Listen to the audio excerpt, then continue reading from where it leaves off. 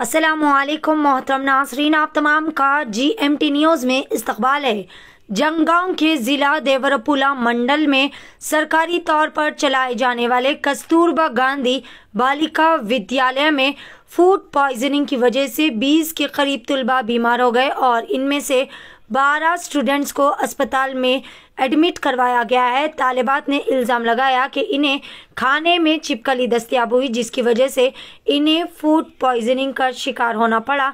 वाक़े की इतला मिलते ही ज़िला कलेक्टर दयाकर राव ने इस मामले में मुकम्मल तौर पर दरियाफ़ किया। खाने में चिपकली की मौजूदगी पर शदीद अफसोस का इजहार किया और तलबा को बेहतर तिब्बी देखभाल फराहम करने के लिए डॉक्टर्स को हिदायत दी गई। पेश है सीनियर जर्नलिस्ट अफसर खान की जी एम टी न्यूज़ के लिए यह खसूस रिपोर्ट।